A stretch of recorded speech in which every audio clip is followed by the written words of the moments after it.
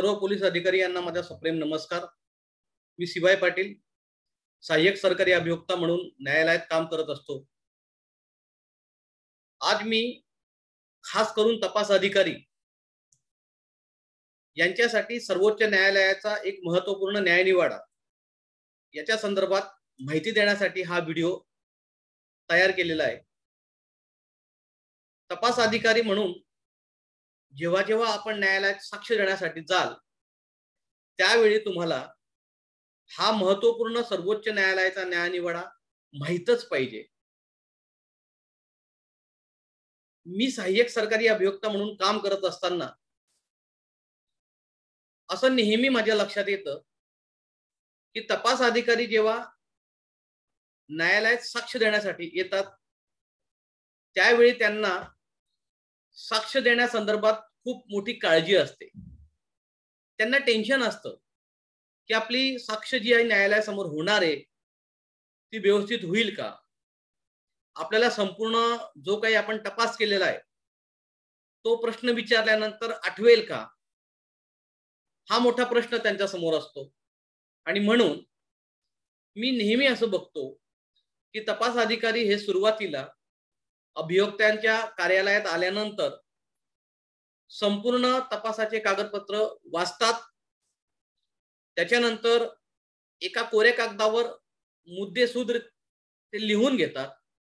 आणि जेव्हा न्यायालयासमोर ते जातात साक्षीदाराच्या पिंजऱ्यात उभे राहतात आणि जेव्हा केव्हा त्यांना सरतपासणीत सहाय्यक सरकारी अभियोक्ता म्हणजे सरकारी वकील किंवा आरोपीचे वकील प्रश्न विचारतील तेव्हा एकतर ते आठवून साक्ष देण्याचा प्रयत्न करतात किंवा त्यांनी जे मुद्दे लिहून ठेवलेले एकुऱ्या कागदावर तो कागद पाहून ते साक्ष देण्याचा प्रयत्न करतात. साहजिकच त्या कागद पाहण्याला बचावाचे साक्षीदार यांच्याकडनं नेहमी आक्षेप घेतला जातो. आणि त्यामुळे तपास अधिकारी तो कागद पाहू शकत नाही आणि त्यामुळे त्यांची साक्ष व्यवस्थित होत नाही. म्हणून सर्व तपास अधिकाऱ्यांसाठी हा महत्त्वाचा न्यायालयाचा न्यायनिवाडा मी सांगण्यासाठी आपल्यासमोर आहे.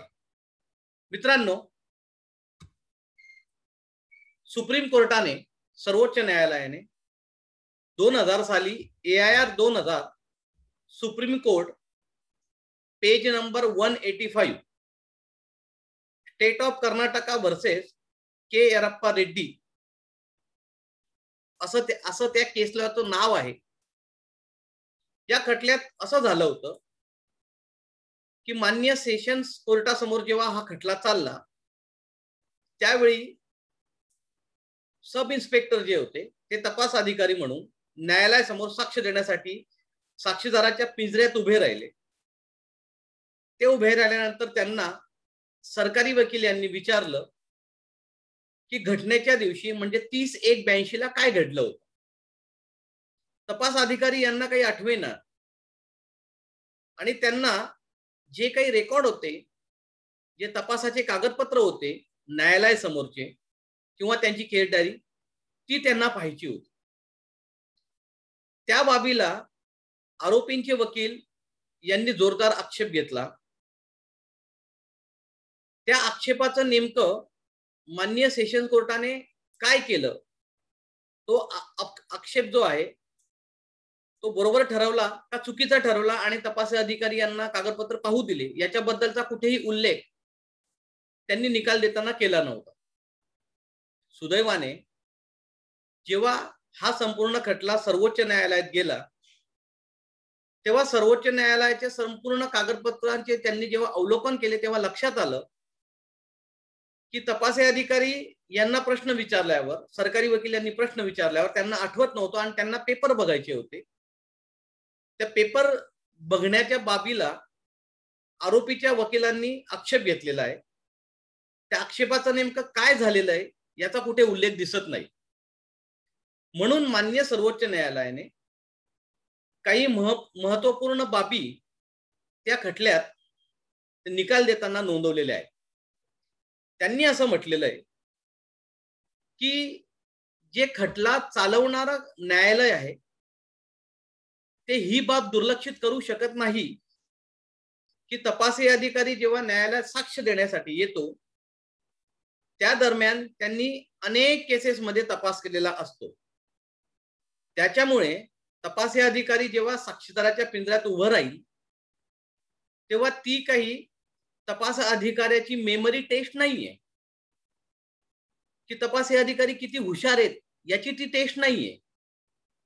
तर तपासी अधिकाऱ्याची साक्ष म्हणजे त्यांनी तपास करताना जे काही कागदपत्र तयार केलेले आहेत त्या कागदपत्रात नेमकं काय लिहिलेलं आहे ते त्यांना न्यायालयासमोर साक्ष देण्या देण्यासाठी उभे असताना सांगणं अपेक्षित आहे.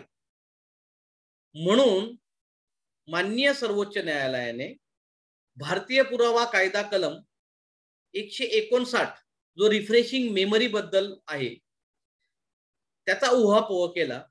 आणि असं म्हटलं की प्रत्येक तपासी अधिकाऱ्यांनी जेव्हा जेव्हा न्यायालयासमोर ते साक्ष देण्यासाठी जातील आणि जेव्हा साक्षीदाराच्या पिंजऱ्यात उभे असतील तेव्हा त्यांनी प्रत्येक प्रश्नाचं उत्तर मग तो प्रश्न सरकारी वकील यांनी विचारलेला असो किंवा बचावाचे साक्ष वकील यांनी विचारलेला असो किंबहुना न्यायालयाने जरी कोणता प्रश्न विचारला तरी तपासी अधिकारी यांनी जे काही खटल्याचे कागदपत्र आहेत ते पाहिल्याशिवाय कोणत्याही प्रश्नाचे उत्तर आठवून देऊ नये अंदाजाने देऊ नये. त्यांनी खटल्याचे पेपर्स पाहूनच साक्ष द्यायची आहे जेणेकरून साक्ष ही व्यवस्थितरित्या न्यायालयाला नोंदवता येईल आणि खटल्याच्या योग्यपणे निकाल देता येईल. म्हणून सर्व पोलीस बांधवांना आणि मुख्यत्वे करून तपासी अधिकाऱ्यांना तपासी अधिकारी यांना माझी विनंती आहे.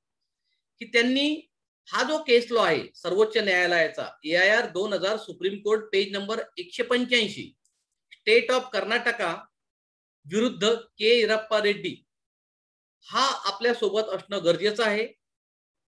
हा निकाल आपण एकदा वाचून घ्यावा. हिच्यातला जो पॅरेग्राफ नंबर वीस आणि एकवीस आहे मुख्यत्वे तो करून आपण पाहून घ्या.